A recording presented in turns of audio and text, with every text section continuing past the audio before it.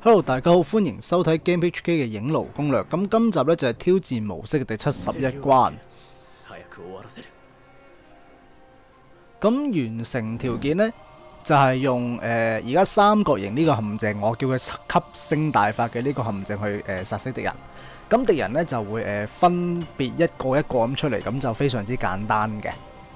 咁我就會利用到第一個陷阱木馬去卡住敵人，咁佢哋就誒係、一定會中嘅。咁呢關就冇乜難度啦。你如果跟我呢個 set 法就誒、呃一個個陷阱中晒，佢就全部死嘅。咁就係啦。咁嚟到呢度啦，多謝收睇。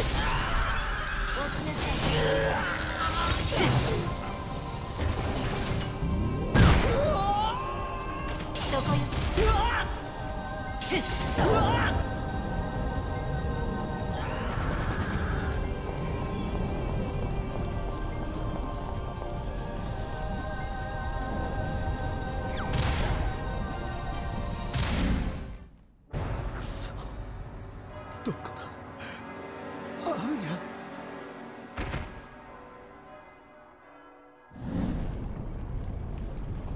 絶対零度の境地に立つにはあとは実戦しかない。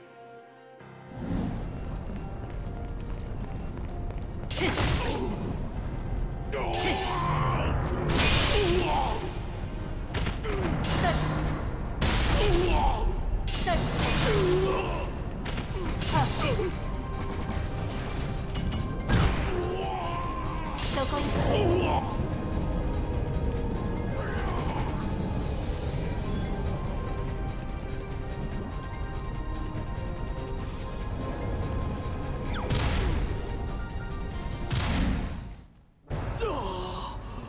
体が冷たくなっていく。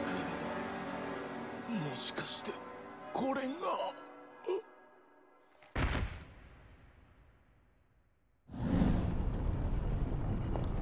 小娘お前にビクトル様と戦う資格があるか。このイグナシオが試してくれるわ。